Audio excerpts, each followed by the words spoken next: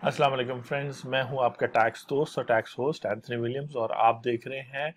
SCCP security exchange commission of Pakistan के regulatory sandbox guidelines पर जो हमारी सीरीज़ चल रही है, जहाँ हम आपको गाइड कर रहे हैं कि ये आपने सेकंड को होट जो 15 अप्रैल 2021 को स्टार्ट हुआ आपने अप्लाई कैसे करना है? ख़ासतौर पर अगर आप fintech crypto AI based startups हैं तो ये स्पेशली रेगुलेटरी सैंडबॉक्स जो है, और ये मुश्किल लफ्ज़ नहीं है, बेसिकली उन्होंने एक मौका दिया है कि वो आपके सॉफ्टवेयर को, आपकी सॉल्यूशंस को, आपकी सर्विसेज़ को या आपके प्रोडक्ट्स को ऑपरेट होते हुए देखेंगे, और जो कस्टमर और बाकी जो स्टेक होल्डर्स हैं, उनका और आपका जो रिलेशन है वो देखेंगे, आपका बिज़नेस मॉडल देखेंगे। तो आज हम बात करेंगे इसमें प्रीवियस पार्ट्स में जो कोहोट वन था, बैच वन जो स्टार्ट हुआ था पिछले साल उसका एक्सपीरियंस मैंने शेयर किया। आ, इस साल जो है क्या कहते हैं इंकरेजमेंट हो रही है क्रिप्टो वालों को और और लोगों को। तो उसके हवाले से बात करें तो इंट्रोडक्शन में हमने देखा कि बेसिकली इनका जो मकसद है वो यूनिक प्रोडक्ट्स और ये जो न्यू टेक्नोलॉजी है उनके न्यू प्रोडक्ट्स को इनक्रेज करना है। और पोटेंशियल पार्टिसिपेंट्स को चाहे वो रजिस्टर्ड हैं एज ए कंपनी एलएलपी या वो अनरजिस्टर्ड स्टार्टअप है या इंटरनेशनल है उन सबको मौका देना। जो परमिशन है आ, वो इस तरह शुरू होगी कि अनाउंसमेंट होगी जैसे हो चुकी है कि जी एप्लीकेशन सबमिट करें ऑन आपको ईमेल पे भेजनी होगी सैंड बॉक्स पे और 5000 उसका जो है चलान है जो एस की वेबसाइट पे आपने जनरेट करना है। तो 15 अप्रैल से जो है कहा जा रहा है कि जी आप एप्लीकेशन सबमिट कर दें तो 14 मई जो है उसकी लास्ट डेट है और ये फॉर्म वन और कुछ लीगल डॉक्यूमेंट्स की बात हमने लास्ट टाइम की थी। आज हम बात करेंगे एक बहुत इंपॉर्टेंट सेक्शन की कि आपने आउटलाइन देनी है अपने बिज़नेस मॉडल की कि आप कौन सा प्रोडक्ट या सोल्यूशन या सर्विस दे रहे हैं और उसके अंदर मिनिमम आपने डेफिनेशन और एक्सप्लेनेशन ऑफ़ प्रपोज्ड इनोवेशन और ये ए बी सी से लेके एच तक है और फिर कुछ एग्जिट से रिलेटेड आपके प्रोडक्ट के एंड होने से रिलेटेड भी कुछ चीज़ें तो ये एक्सप्लेन करते हैं कि आज आपको एक आइडिया हो जाएगा कि how to write the proposal जो ये मांग रहे अब आप दो डिफरेंट बैकग्राउंड से हो सकते आ रहे हो। या आप एकेडमिक यानी यूनिवर्सिटी ग्रेजुएट हो रिसर्च बेस्ड बैकग्राउंड से आ रहे हो। तो ये जो प्रपोजल वगैरह मांग रहे हैं मेथडोलॉजी का पूछ रहे हैं प्रोडक्ट की रिस्क का पूछ रहे हैं, वगैरह वगैरह स्ट्रैटेजी और कंज्यूमर को बेनिफिट पूछ रहे हैं, वो ऑलरेडी शायद आपने ये सारा प्रोसेस कर लिया हो, लिख लिया हो सर्विस कर लिए हो बीटा टेस्टिंग कर ली हो। तो आप चूँकि अगर एकेडमिक रिसर्च बैकग्राउंड से आ रहे हैं तो फिर तो ये आप सारा कुछ इजीली लिख लेंगे।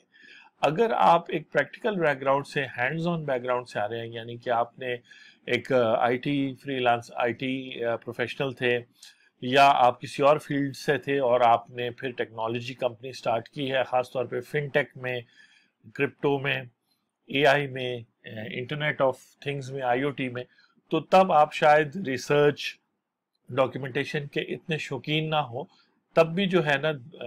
मैं आपको एक बेसिक आइडिया ये दे रहा हूँ कि ये जो हेडिंग्स दी हुई आप इनको कॉपी कर सकते हैं। एक तो शुरू में आप अपनी टीम वगैरह के बारे में डॉक्यूमेंट्स और पैसे वगैरह और जो आपके मेन स्पॉन्सर्स हैं, उनके रेज्यूमे वगैरह डालने के बाद अपने डॉक्यूमेंट में, क्योंकि डॉक्यूमेंट तो आपने सबमिट करना है और वो एक रिपोर्ट की सूरत में हो, चाहे वो वर्ड या जो है, क्या कहते हैं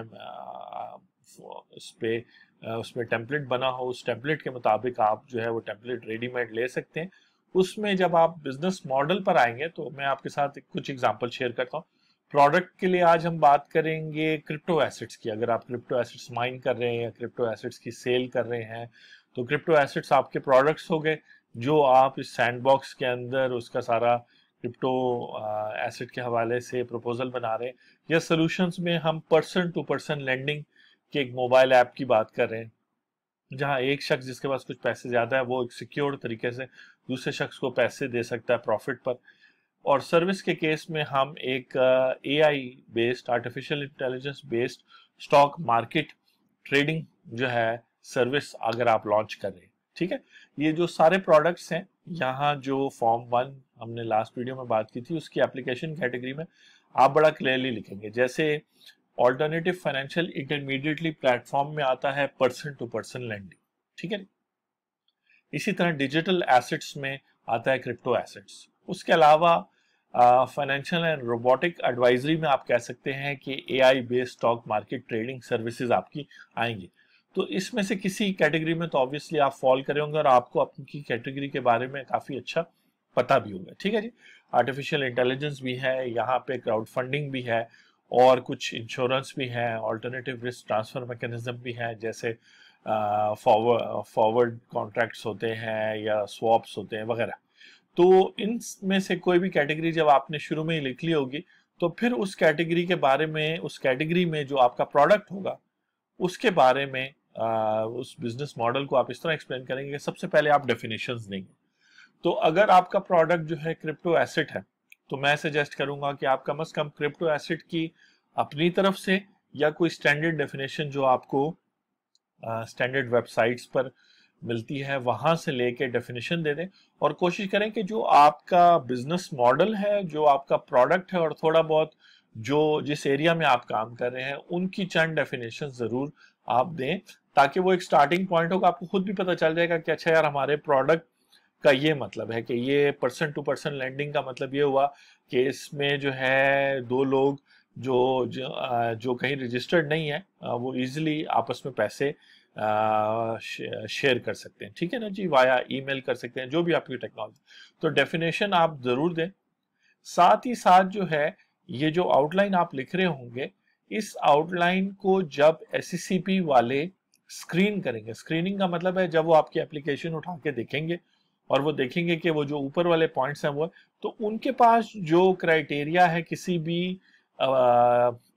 एप्लीकेशन को अप्रूव करने का, उसके अंदर उन्होंने ब्रॉड गाइडलाइंस में ये चीज़ें दी हैं। जेनवननेस ऑफ़ इनोवेशन यानी कि अगर आप जो है ऊपर डिफाइन करते हैं कि जी क्रिप्टो एसेट है या पर्सन टू पर्सन लैंडिंग है तो आप प्रपोज्ड इनोवेशन में उसको एक्सप्लेन करेंगे कि जी हम क्रिप्टो एसेट को माइन करके लोगों को अवेलेबल करेंगे।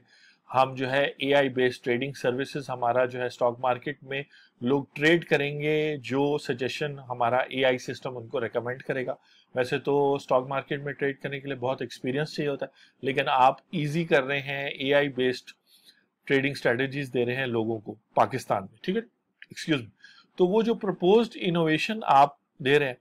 और उसकी जो यूनिकनेस है, उसको आपने इस इस चीज़ पर नापना है कि आया वो आइडिया लोकल मार्केट के लिए न्यू है। तो आप कह सकते हैं कि क्रिप्टो एसेट के केस में और पर्सन टू पर्सन लेंडिंग के केस में ये आइडियाज़ बिल्कुल नए हैं।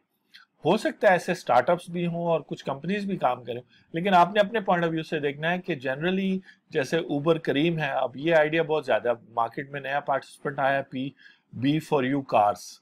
तो अब वो भी कॉपी कर रहे हैं। तो आप ये नहीं कह सकते कि ये न्यू आइडिया है लोकल मार्केट में ऑलरेडी दो तीन बहुत बड़े मेजर प्लेयर्स काम करें तो इसलिए न्यू आइडिया से मुराद ये है लोकल मार्केट से मुराद। और A I stock market trading services के केस में आप कह सकते हैं कि आपका जो A I based trading system है, वो जिस तरीके से डेटा लेता है और स्ट्रेटजीज बनाता है, वो हो सकता है बहुत सारी ब्रोकेज और commission stock market firms Pakistan में हो, जो इंटरनेशनल फर्म्स हो वो ऑलरेडी एआई की हेल्प ले रहे हो, लेकिन आप चूँकि मार्केट में इस चीज़ को और वो प्रोपराइटरी सॉफ्टवेयर हो, और आपका जो आइडिया वो जनरल पब्लिक के लिए इस्तेमाल हो तो इस तरह करके आप कह सकते हैं कि एग्जिस्टिंग आइडिया ज़रूर है, लेकिन इसका न्यू केस है। बजाय कि प्रोपराइटरी सॉफ्टवेयर हो, एक ओपन सोर्स सॉफ्टवेयर हो, और उसके थ्रू लोग जो है ना ट्रेडिंग सीखे स्टॉक मार्केट में और कुछ पैसे कमाने की कोशिश करें। तो इस तरह आप देख रहे हैं कि जो एक तरफ़ तो आप लिख रहे हैं अपने बिज़नेस मॉडल का प्रोडक्ट के हवाले से सोल्यूशन के हवाले से कि उसकी डेफिनेशन क्या है, उसके प्रपोज इनोवेशन क्या है। साथ साथ आप जेन में रख रहे हैं कि एस वाले उसको कैसे जज करेंगे। अच्छा अब जब आप डेफिनेशन लिखेंगे, दो तीन डेफिनेशन आप लिख दें, जब आप प्रपोज इनोवेशन लिखेंगे तो प्रपोज इनोवेशन के बारे में जब आप लिखेंगे तो आप हो सकता है कि उसके प्रोसेस का डायग्राम शो कर दें उनको, उसकी बेसिक एक आउटलाइन बना दे कि जी, ये होता है, ये होता है, ये बेसिक लैंडिंग में पर्सन टू पर्सन लैंडिंग में, ये सारी चीज़ें होती है। तो बेसिकली आप उनको एक आउटलाइन एक ब्लूप्रिंट दे रहे हैं कि इस तरह आपका प्रोडक्ट सोल्यूशन या सर्विस काम करता है। ठीक है जी? और हम तीन एग्जाम्पल्स हैं जिसको लेके चल रहे हैं। और आपने वो यूनिकनेस वाला इनोवेशन वाली चीज़ ध्यान में रखनी है। अगला, अगले पॉइंट पे जाते हैं। आप इस सारी हेडिंग को कॉपी कर सकते हैं उस प्रपोजल में, उस डॉक्यूमेंट में। ये आपकी हेडिंग हो जाएगी। और नेक्स्ट हेडिंग क्या है कि पोटेंशियल बेनिफिट्स बताएँ इस प्रोडक्ट सोल्यूशन सर्विस का अपने कंज्यूमर्स को और फाइनेंशियल मार्केट्स को। बेसिकली कंज्यूमर्स और अच्छा इन्होंने यहाँ फाइनेंशियल मार्केट्स लिखा है कि बेसिकली तो फाइनेंशियल प्रोडक्ट्स ज़्यादातर हैं, ये तीनों आप देखें क्रिप्टो एसिड है परसेंट टू परसेंट ये फाइनेंशियल ट्रांजेक्शन है ज़्यादातर, ठीक है जी? इसमें आपने अपने कंज्यूमर्स को भी आइडेंटिफाई करना है, यानी आपके कंज्यूमर्स की भी टाइप हो सकती है। हो सकता है टेक्नोलॉजी प्रोफेशनल्स हो जनरल पब्लिक हो एजुकेशनल इंस्टीट्यूशंस हो। इसके अलावा और स्टेक होल्डर्स भी होते हैं। इसमें गवर्नमेंट तो होती होती है इन्वेस्टर्स होते हैं फाइनेंशियल मार्केट्स हो सकती हैं, यानी स्टॉक मार्केट अब ये जो स्टॉक मार्केट वाला प्रोडक्ट है AI based stock market trading scheme services जो है, ये जो एग्जिस्टिंग वहाँ बहुत सारे लोग हैं जो 40 इयर्स गुजर गए हैं और वो ट्रेड्स लगा रहे हैं, स्टॉक मार्केट में उनका बड़ा एक्सपीरियंस बन गया। तो आप एक ए आई बेस्ड ला रहे हैं तो जारी बात है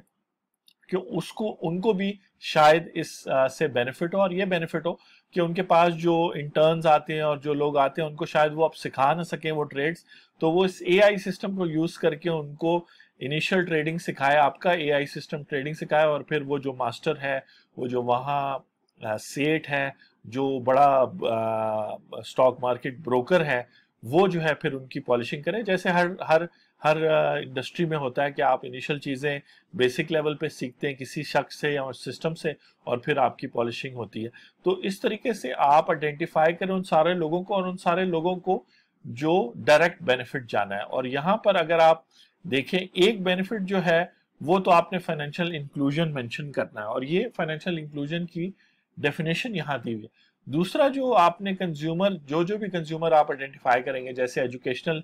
इंस्टीट्यूशंस को आइडेंटिफाई करेंगे या स्टूडेंट्स को आइडेंटिफाई करेंगे, और याद रखें कि आपने एक जो है चूँकि ये टेस्टिंग होनी है आपके प्रोडक्ट की, और यहाँ पर जो आप कंज्यूमर सेगमेंट मेंशन करेंगे, उसी पर फिर वो वहाँ टेस्ट करेंगे। अगर आप स्टूडेंट्स मेंशन करेंगे ग्रेजुएट स्टूडेंट्स या अंडर ग्रेजुएट स्टूडेंट तो फिर आपको ऑब्वियसली प्रपोजल के तहत एससीसीपी अलाउ भी उन्हीं कर करेगा। अगर आप अपना एआई वाला ट्रेडिंग सिस्टम चाहते हैं कि स्टॉक ब्रोकर्स उसको यूज़ करें तो फिर स्टॉक ब्रोकर्स जो ये रिस्क लेना चाहेंगे, उनको एस आपको अलाउ करेगा कि उनको दें और चूँकि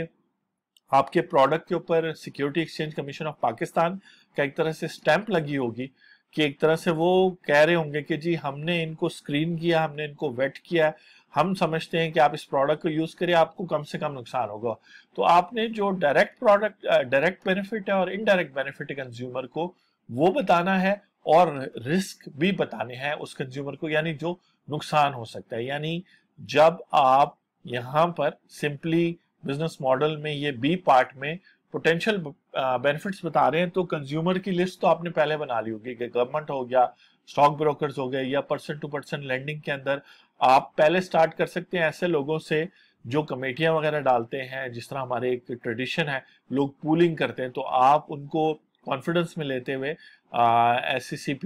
के इस सैंड बॉक्स के अंदर रहते हुए आप उनको अपना प्रोडक्ट करें, ताकि वो पर्सन टू पर्सन लेंडिंग का एक्सपीरियंस कर सकें, उसमें वो कमेटी पूल करने वाला जो है वो एस्पेक्ट भी अगर आपके प्रोडक्ट में हो। एग्ज़ाम्पल दे रहा हूँ, ज़रूरी नहीं कि ऐसा हो। तो आप जो है उन कंज्यूमर की लिस्ट बनाने के बाद उनको जो बेनिफिट्स हैं वो बताएँ और उस बेनिफिट में एक मेन बेनिफिट तो फाइनेंशियल इंक्लूजन होना चाहिए। और फाइनेंशियल इंक्लूजन का सिर्फ़ ये मतलब नहीं कि वो जो है टेक्नोलॉजी यूज़ करने लगे। हो सकता है आप मोबाइल ऐप नहीं भी बनाते तो फिर भी आप कोई टेक्नोलॉजी आजकल फ्रिजेस में भी टेक्नोलॉजी है बुक्स के अंदर भी माइक्रोचिप्स लग सकती हैं। तो वो टेक्नोलॉजी जो है, आप किसी तरीके से भी कंज्यूमर को पहुँचा सकते हैं। लेकिन अगर आप मोबाइल यूज़ करेंगे तो पाकिस्तान में बैंक अकाउंट्स तो यानी जो अभी जो फाइनेंशियल इंक्लूजन है बैंक्स जो हैं, अभी सिर्फ़ एक करोड़ लोगों के पास बैंक अकाउंट्स है, जबकि दस करोड़ लोगों के पास इस वक्त पाकिस्तान में मोबाइल फोन्स हैं। तो इस हवाले से आप जो है, वो फाइनेंशियल इंक्लूजन ज़्यादा से ज़्यादा लोगों की कर सकते हैं, अगर आप मोबाइल यूज़ करेंगे। तो एक सजेशन है कि जब आप अपने पोटेंशियल बेनिफिट्स लिख रहे हो अपने क्रिप्टो एसेट्स का या अपने pure person to person lending का तो आप इस तरीके से फाइनेंशियल इंक्लूजन एक बेनिफिट हो गया, वो तो आपने शो करना है, कैसे फाइनेंशियल इंक्लूजन हो रही है, कैसे पहले ये शख्स जो है जैस कैश यूज़ नहीं करता था, अब कर रहा है तो अब ये पैसे इलेक्ट्रॉनिकली भेज रहा है, पहले बाय हैंड भेजता था तो इस तरीके से है। और आगे जो पार्ट्स हैं और वो जो एग्जिट है, उस पर हम बात करेंगे आने वाले पार्ट्स में। आप अपना ख्याल रखें और इस प्रपोजल को लिखें। Thank you very much